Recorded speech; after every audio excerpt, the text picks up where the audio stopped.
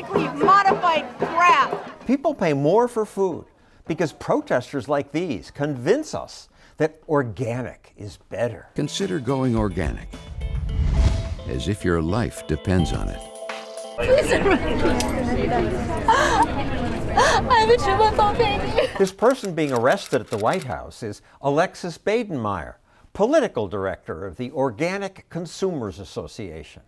You make poor parents feel bad that they can't afford to pay triple the cost to buy their kids organic food, which they've been f- fooled into thinking is better. That's the safest with the fewest pesticides. And I Costs know three times as much. so there are certain things that are more expensive, like a dozen eggs, but the nutrition is a huge difference. No, it isn't. Studies find little difference. It's not worth the triple the price. It is. It's worth it. Look, if you want to pay three times more, that's your right. But it's remarkable that a small group of scientifically illiterate people has convinced most Americans that organic is better.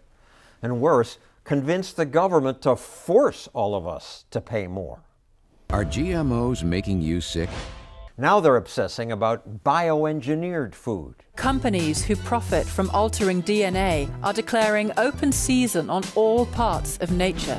They say GMOs, genetically modified organisms, poison us. This is nonsense. Modifying DNA may sound creepy, but people have crossbred plants and animals for years. You think a poodle's natural?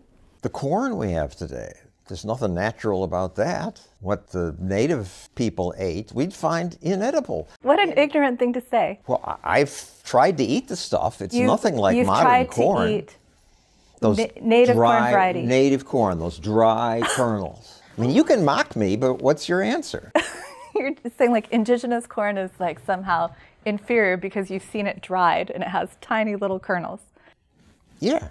Nearly inedible kernels. That's another myth of the industry. It's, but people like you believe that. Yes.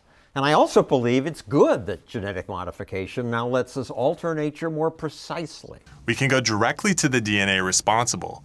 That gives us plants that taste better, plants more resistant to disease, even plants that save lives. Vitamin A deficiency is a silent killer. Each year, at least a half million children go blind or die for lack of this crucial micronutrient. But now genetic modification can stop that by adding vitamin A.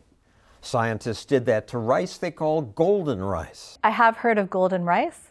That was a project that all of the chemical companies invested in. It was the big savior. We were going to have a Prevented blindness. right. But because people in poor countries listen to groups like hers and become fearful that Americans want to poison them, activists have stopped golden rice research. Hundreds of environmental activists stormed a Philippines government test field.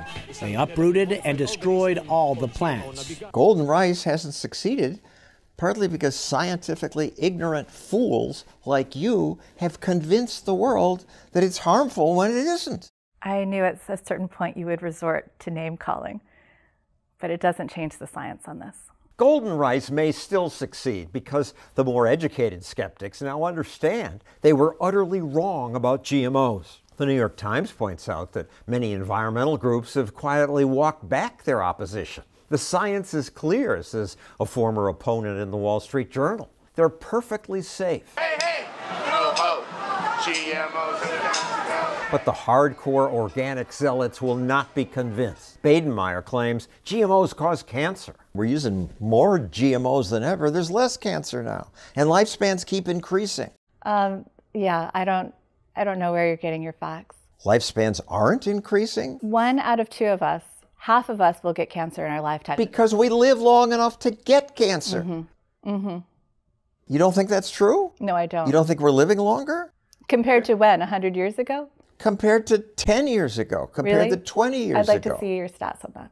Okay, here are the stats. The lifespan change in America over the past hundred years. The GMO issue just has not been investigated enough. It will never be investigated enough to satisfy these people. So when the National Academy of Sciences, in their 600 page report, calls GMOs safe, they're just making stuff up? Yeah.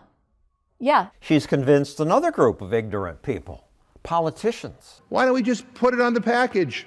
The USDA's new rules for labeling genetically modified foods took effect today. Congress now has ruled that any food with GMOs must be labeled. Some politicians think that's free. It doesn't cost anymore. This idea that this is a this is an effort that will raise food prices is ridiculous. But it does by millions, if not billions of dollars. The organic promoters are wrong on the costs and wrong on the science. But they've won the battle of public opinion. People willingly pay more for food that's no better.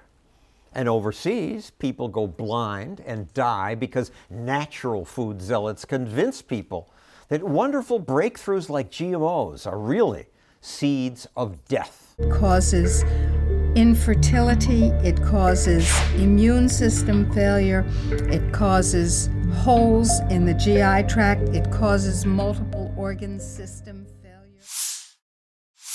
Thanks for watching our video. If you enjoyed it, please hit the like button and subscribe to see our next one.